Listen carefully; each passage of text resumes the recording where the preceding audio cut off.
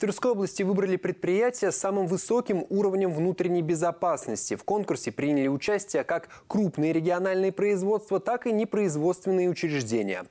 Выбрать победителя на звание «Лучшее предприятие Верхневолжья в области охраны труда» оказалось не так-то просто. Все номинированные организации показали достойные результаты. Подробнее о проекте и о том, где ответственнее всего подошли к безопасности сотрудников и производства в следующем сюжете.